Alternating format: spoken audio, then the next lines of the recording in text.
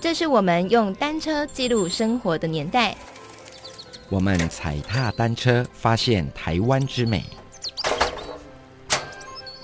我们停下脚步，一起收听由燕如、哲权共同主持的《Let's 疯单车》。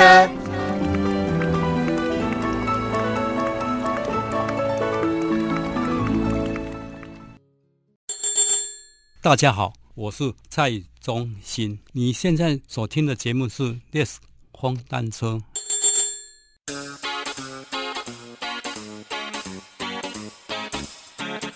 科技时代，除了使用收音机收听节目，还有以下管道哦：一，在正声广播公司网站上点选原音重现区，爱听几次就听几次；二，在脸书粉丝团上搜寻 “Let's 风单车”，一起按赞加入；三，在手机上安装 Podcast，搜寻 “Let's 风单车”，使用手机 so easy；四，在 YouTube 上搜寻 “Let's 风单车”，视听享受好心情。当然，还是敬请持续锁定每周日下午四点到五点，在 AM 八一九播出的《Let's 风单车》。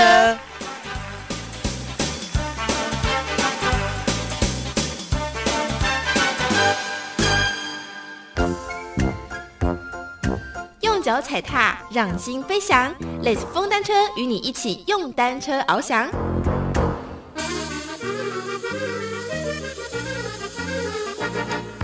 享受骑单车的生活，人人都是单车生活家。来到这个单元进行的是单车生活家，我是燕如，我是哲全。好，在这个单元里面呢，我们真的邀请到很多的好朋友，对，来跟大家分享他们的故事。对，每一个人的故事都非常精彩。对，但是这一位的故事是让我觉得我们可以得到更多的一个生活的一些历练、啊。对，在私下我们在聊的时候呢，我觉得光是人生的故事就让我觉得惊叹连连。没错，自叹不如。让我们邀请到的是蔡中心蔡董来到节目当中，欢迎蔡董，谢谢谢谢谢谢。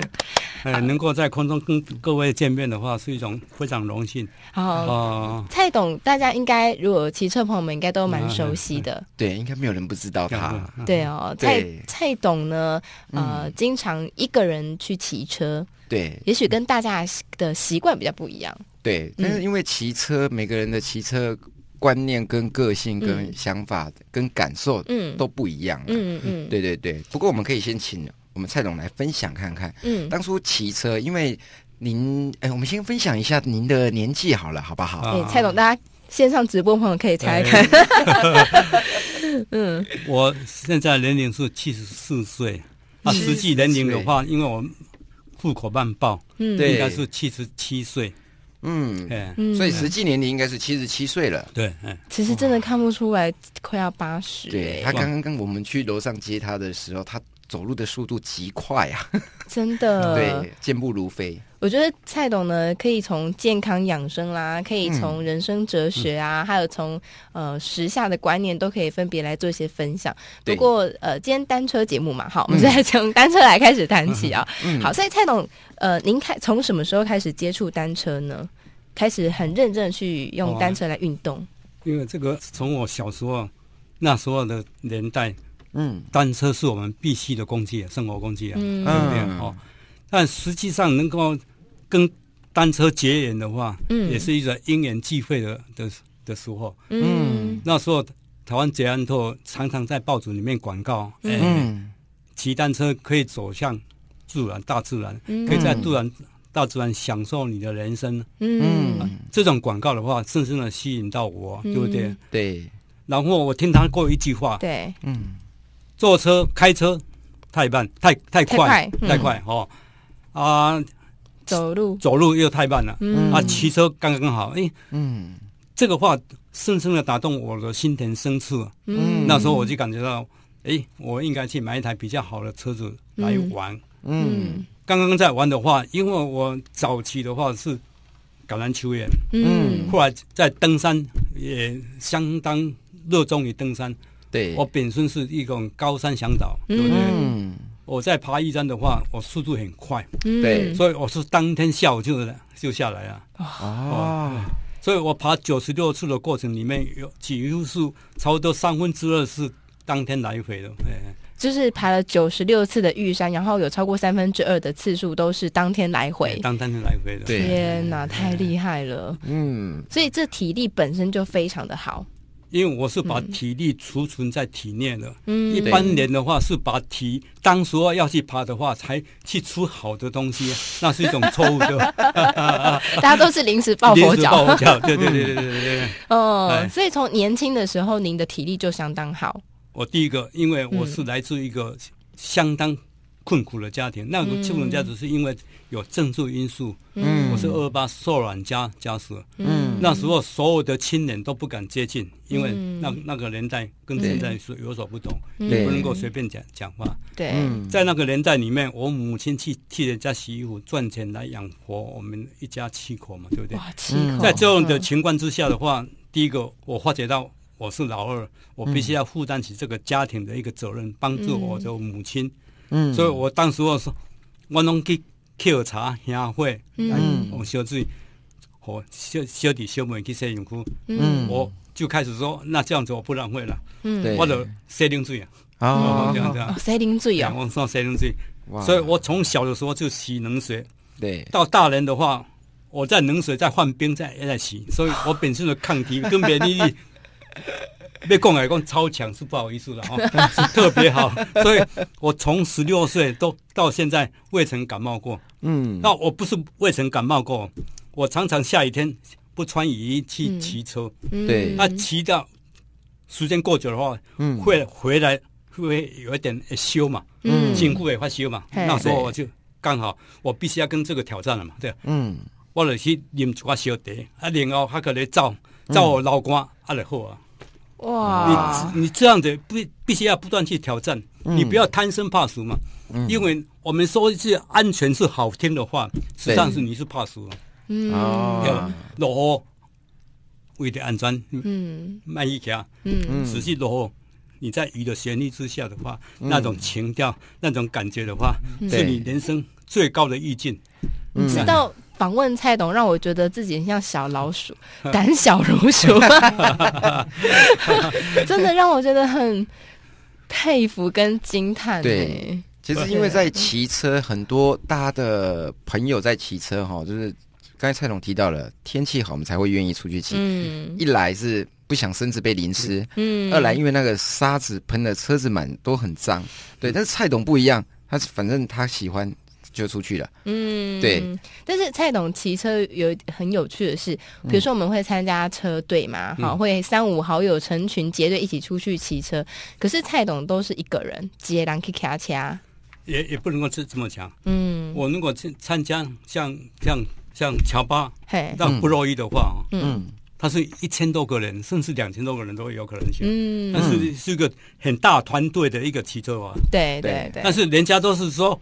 能够有人破风跟在破风走，那我不如 我是脱离那个队，我个人在骑。你个人起的话，你可以无限的延伸你的视野。嗯，你可以很弹性的，应该怎么样子怎么样，你不要跟人家走。你前面骑得快，你后面要跟的话，跟到后来你的心脏就扩大了，那问题就来了，对不对？大可不必啊。嗯，其实人家常在讲说运动啊，会怕运动伤害。对，对不对？哈，所以呃。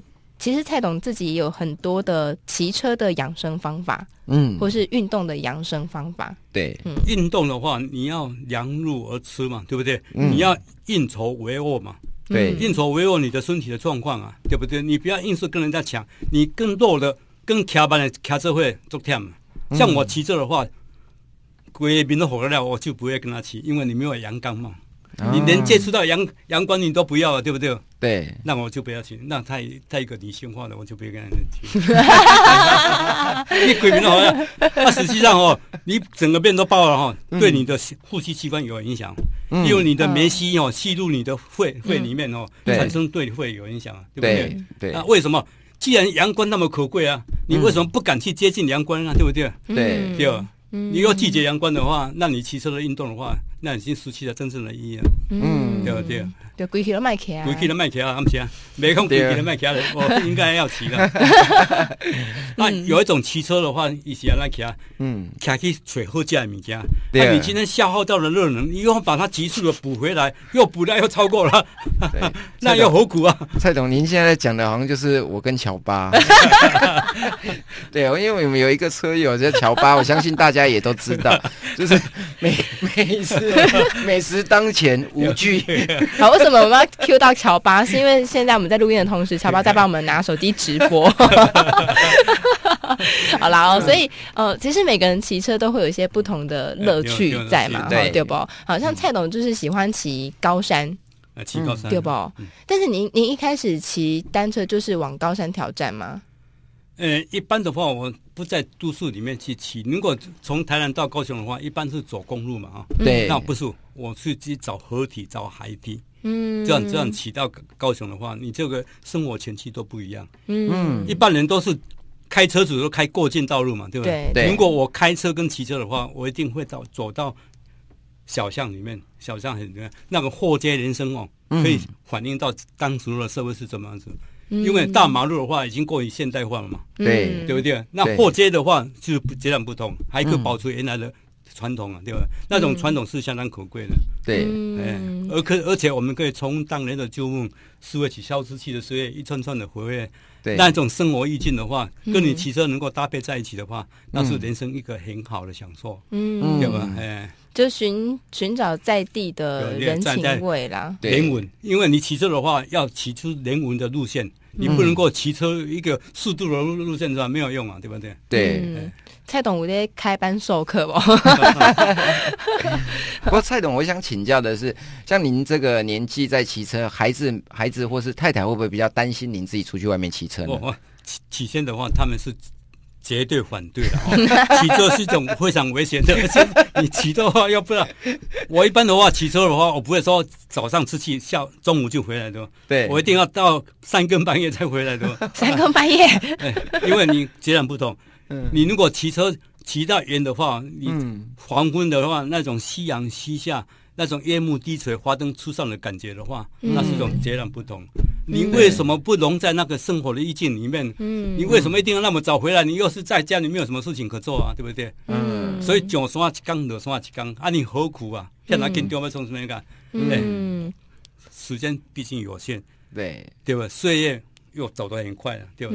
你没有好好的把握当下的话，你的人生失去了一半有何用啊？对，对吧？所以就是家人还是反对。但是就先做了再说。不，我出去怎么发生什么事情都不给不给他们讲嘛，都不能讲嘛。那谁在讲？不能不能让孩子听到。甚至我我要去骑车的话，也不给他们知道啊，对不对？对吧。因为如果我去骑车的话，要去骑那个几百公里的话，嗯。我如果跟我的太太讲话，他们说你这个神经病的，那我不讲就没有神经病的存在。不讲就没有神经病的存在，真是有哲理。真的哎，可是其实蔡董骑了很多地方，嗯，然后骑了很多高山，都挑战难度的有难度的路。嗯，这是呃，这是需要一些时间养成的吧？还是不讲对的话，你的个性。主人啊，你要培养你的个性的话，因为你真侪人开车人拄着上惊拄着迄啊，个一人伊就无去去战斗一组啊，因为伊是要靠别人看嘛，对，互相激励嘛，对。啊，你如果单独一个人的话，他就了无情趣啊，他就望而却步啊，对吧？对，对吧？对。所以你要对你自己的生命有所交代的话，你就要尽力而为啊，对不对？你就不能够有推脱了，因为你是对自己的交代啊，你富有何求啊？嗯，对。蔡董真的可以说，应该说对自己的人生真的是非常可以交代，对。对不？我常我常常在讲，我是台湾最快乐的老人，真的，可以见得啦。因为同我这个年龄的，已经回到老家的，已经多少边业所对的地方，到现在我还活在这个社会，对，我骑车不会找上了年纪的，嗯，我都是跟年轻人在比在比啊，对对，要的话真的，哦，因为我追过年轻人的话。那种喜悦的感觉，那那个可是蔡董，您没有考虑被您追过那年轻人的感受。我就是要刺激他们，说 年轻人要苦苦。你为什么？真的哎，好，所以呃，其实这样子被，就是说在年纪上面好像已经老了，可是其实蔡董在心态上面是非常年轻的。好像二零零一年的话，嗯，诺贝尔生理奖得奖的，嗯，那个是伊丽莎白，她讲过一句话，嗯，对，人的长寿跟吸烟喝酒是截然没有关系的，嗯，没有关系，没有关系的，嗯，他在于什么样子的？他的论文在于什么子？在你的生活态度占了百分之五十，嗯，哎，嗯，所谓的生活态度是说你要想得开，要换得开，对不对？对，你蛮靠靠靠宗教来给你教你教化，你爱家己去教化你家己了，对吧？家己去激励你自己嘛，对，你不要参考宗教嘛，你宗教的话，你要把时间去拿在宗教了，对不对？哎呀，时间你在来骑车来运动，干嘛做好啊？对，哦，这样那何乐而不为啊？对，哎，所以。你爱有家己你的主张，你才能够对你的年龄要有所交代。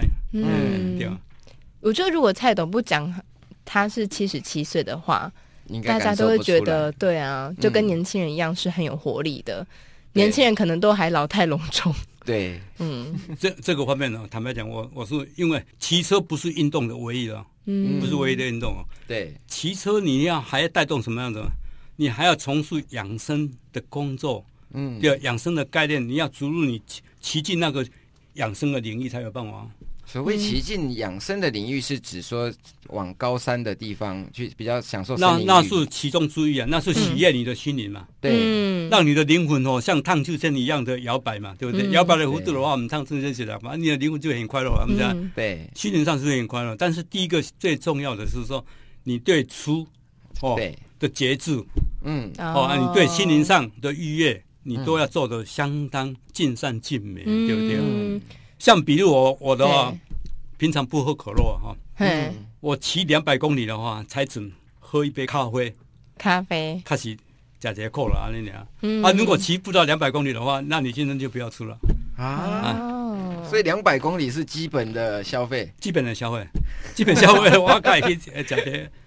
所以社会呢，开始关全家对我来讲的话，是一种很陌生的地方。嗯，我们在风系列的话，一定要到里面去打卡，对对不对？我打卡的话，我没去假假下，我每天是假熬练啊，讲什么关都没有。嗯，我第一个是讲一个像像或者是麦麦类的一种东西了哈，那些个谷物的谷麦类麦类谷物的东西。嗯，我假。但是我不这么在讲，嗯，因为我们的皮肤的话，那时候我们的毛细孔已经张开了，对，你在冷气里面，可能你你不是受不了的问题，对身体的安全系数的话，可能有所影响，所以我憋掉需要我靠这样，哦，我不会在那个这样去享受人生了，嗯，真正享受人生是在太阳底下，你才能够享受到你的生命，哇，对吧，就灿烂了。对，真的哇，真的回家冷气少开啊！冷气是在前卫德语所说，对，实际上先不要开冷气。真的哎，哦，这是骑车的养生之道。养生之道啊！好，那挑这点我们先稍微休息一下，等下马上回来。谢谢。大家好，我是蔡忠新，我的单车名言就是：骑单车是对生命最好的交代。快来跟我们大家一起练风单车，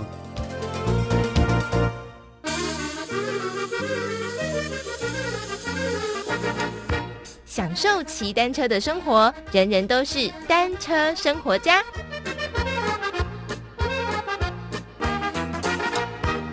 回到单元当中进行的是单车生活家，我是燕如，我是哲全，嗯。好，在今天的单元当中呢，邀请到一位相当特别的来宾。对，其实我们刚刚在上一个阶段也听到蔡董分享了一些他的人生的一些哲理啦。不过，我想请蔡董来与听众分享一下，就是您有没有是经过了哪一场赛事，或是哪一场活动的参与这个过程以后，影响到您骑车的一个最大的一个转变呢？呃，我最大的转折点呢，应该是讲说。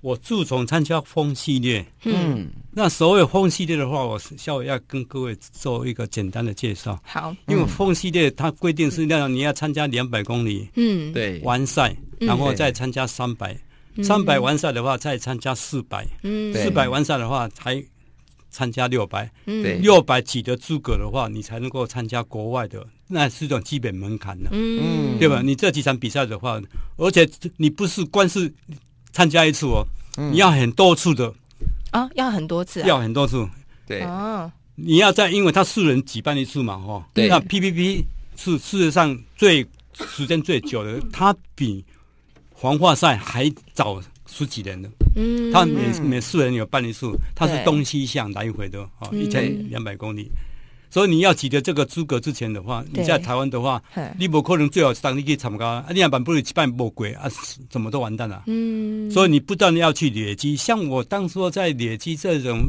比赛的话，对，我差不多有七八个轮回啊。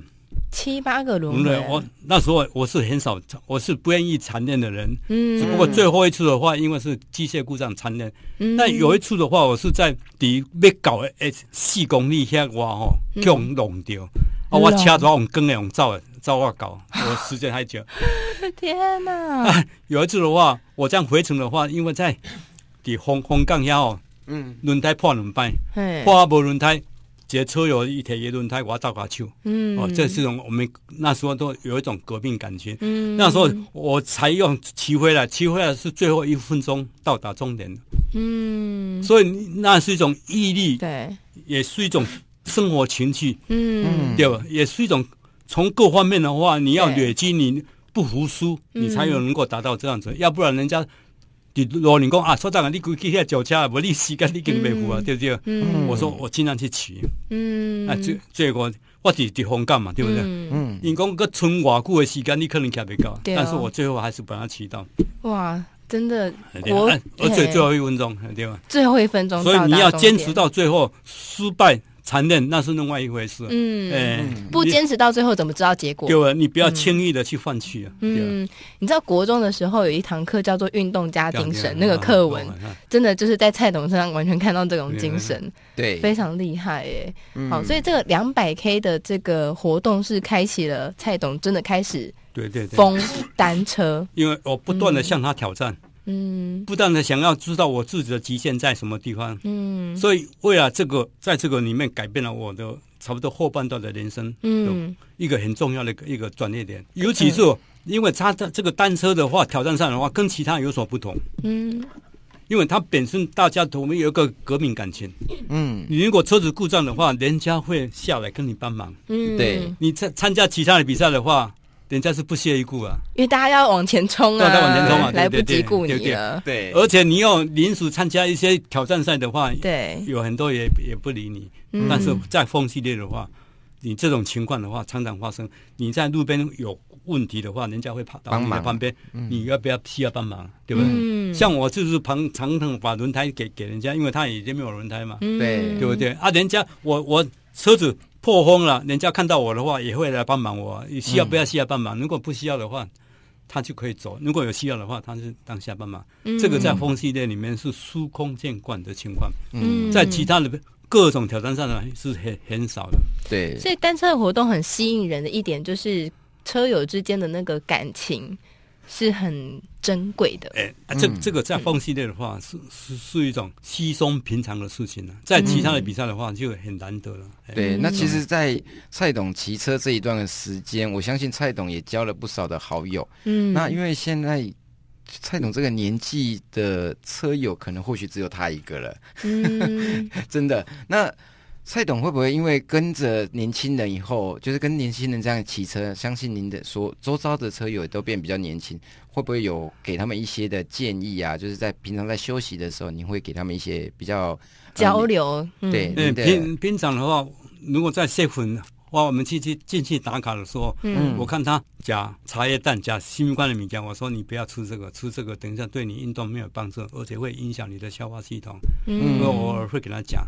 对，一般在在的话，他们都是哎，你年龄这么大，我希望到你的年龄的话可以参加。这个时候我们都是在网络的话，我会给他写个几鼓励。我一般网络不会按赞啊，我会看到你的稿的话，有时间看到你稿的话，我会给你写几个字啊。嗯，会回应。你按赞，不过这个按赞的话，坦白讲，这个网络按赞的话是一种很错误的，晓得吧？有人破文公啊，我父亲晚生了，第二个按赞，这个是吧？嗯，啼笑结婚的事情嘛，嗯，所以这个暗战的话，应该应该有一点要革词了。你如果认为他写的文章有点问题，你当面给他写一下，讲，这样讲也可以吧？嗯，一种导正嘛，对不对？对。可是可是蔡董参加了这么多风风系列的活动啊，嗯，我比较好奇就是说，蔡董真的没有遇过任何的危险吗？或者说？都没有出过状况吗？有有有，有两个状况的话，这个可能很多，是不是？不能让孩子听到。好，不让孩子听。播出的时间我们会跟您讲。没有没有没有这样。这这个问题的话，坦白讲，你人生不历经风险的话，你哪里有什么成果可言呢？嗯对不对？对。人生得意须尽欢，莫使金樽空对月。天生我材必有用嘛。嗯。千金散尽还复来嘛。嗯。对。你。为什么在乎那种困难呢？你越在乎困难的话，困难越会面对你。因为毕竟你今天不面对现实的话，现实明天会面对你一样，是不是这样？这样，什么叫危险？对不对？因为你贪生怕死，你才会有危险。对，嗯，我我真的很少访问到来宾会让我觉得有点 如雷，那 什么叫什么当头棒喝的感觉。真的，因为。蔡董除了参加风系列之外，还有参加过中央山脉的活动。这一场赛事也是大家说非常困难的一个赛事。中央山脉是是这样子，看你的毅力了。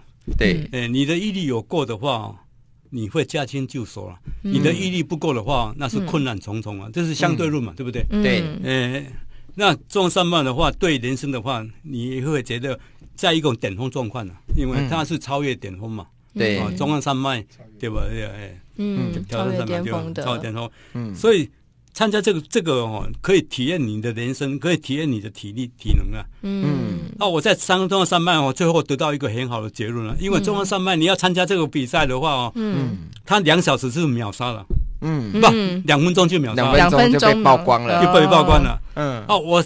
给大会讲说，哎，你这样子的话，像我们这种年龄的话，根本跟年轻人在电脑里面差得很远嘛。对，他说我给你一个名额，嗯，全国给你一个名额，嗯，你只要打电话来报名，那就可以了。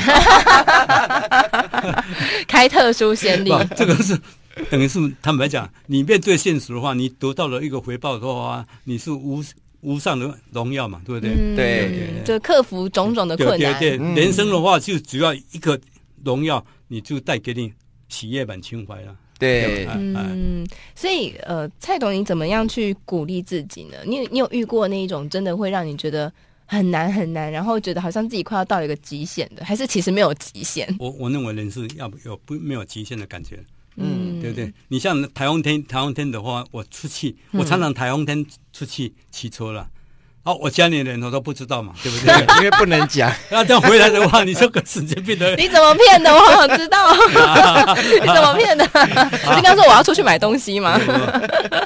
我被卡卡三三块吼，都做炸的宽底底另外一个所在嘛，对不对？哦，炸炸的宽厚啊。宽厚，而且对，陈仓暗度嘛，对不对？哦，所以嗯，善意的欺骗哦。你对你的人生也是另外一种境界，对吧？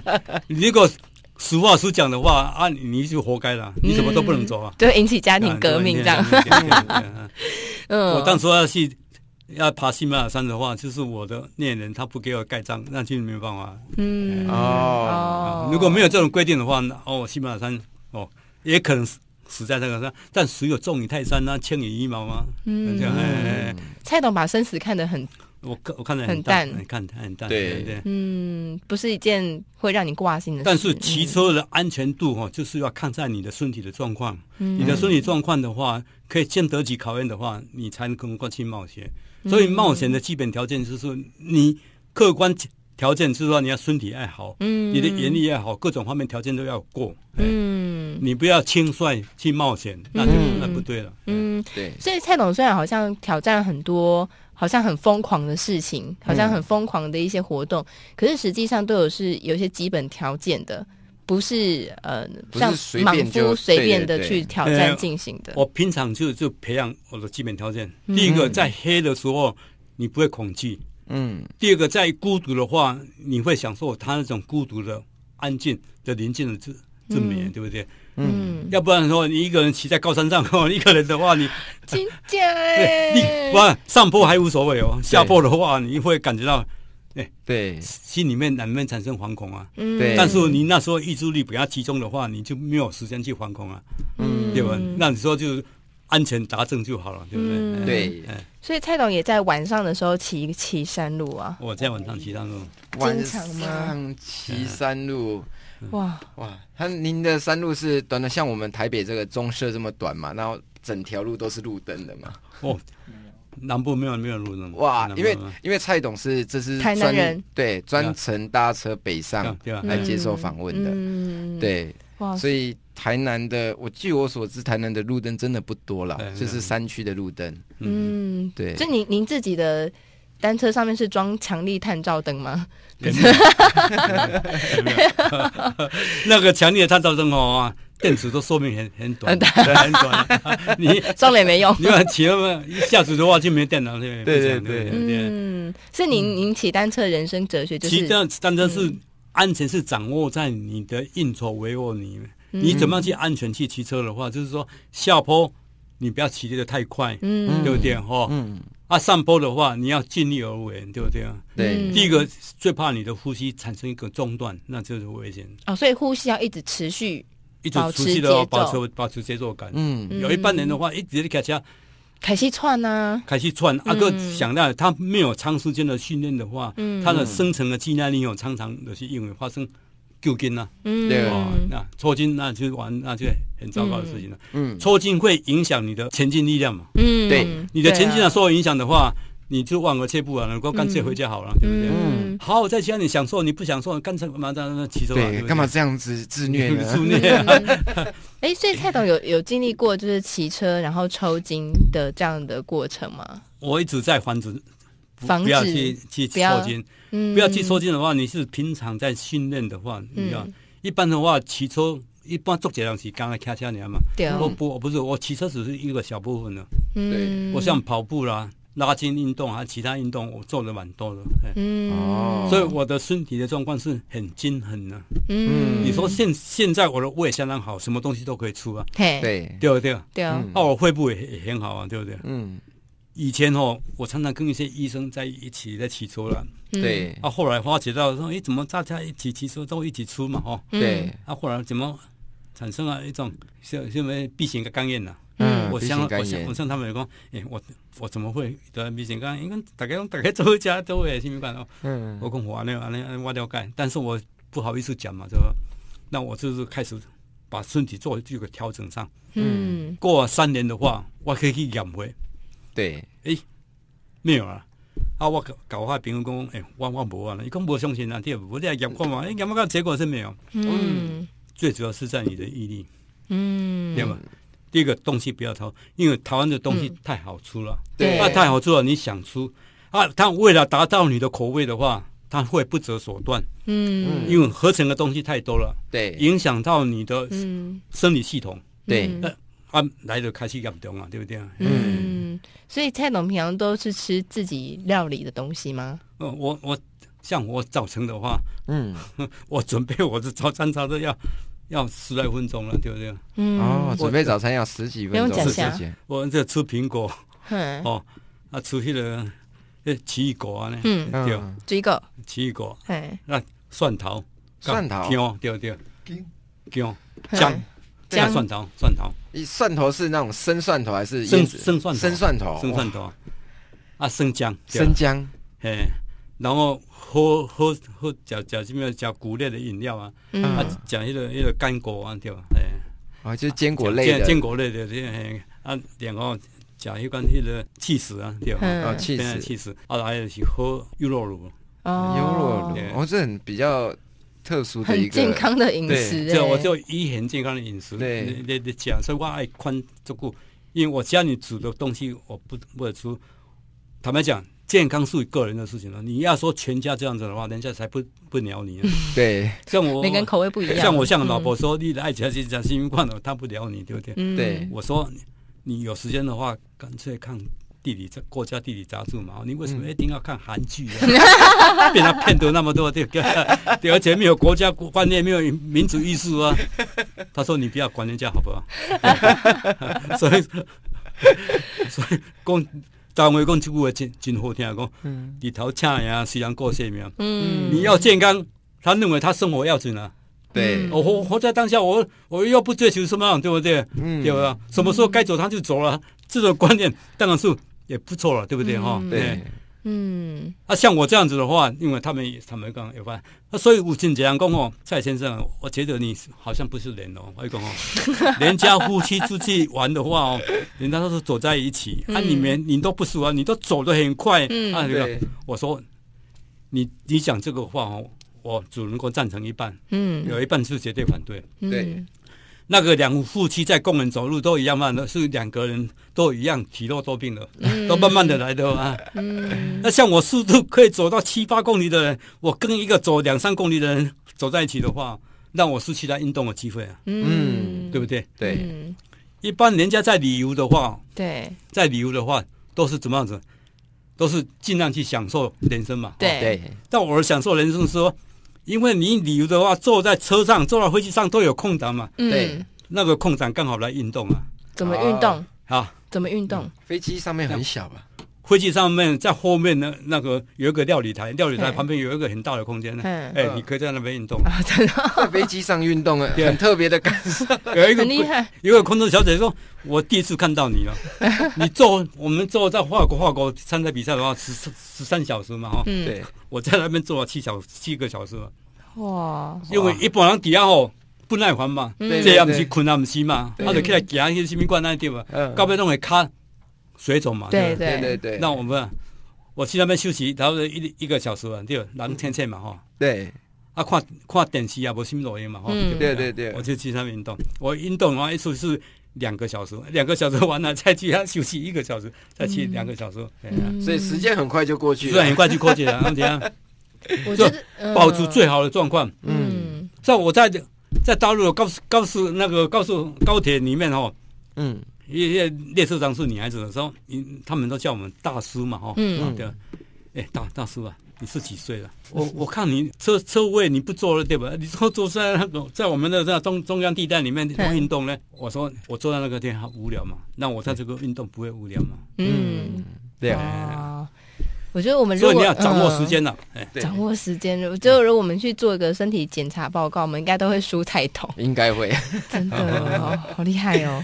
好，所以今天来跟大家分享这个是蔡董的。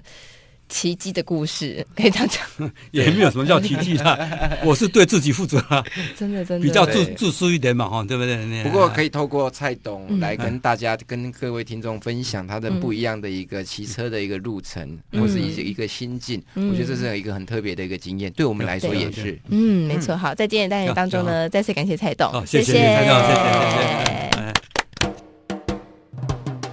你是用单车享受生活的人吗？你也有属于自己的单车故事吗？快拨打零九八八八七三八三六，来与听众分享你专属的独特经验。单车生活家单元，等你哦。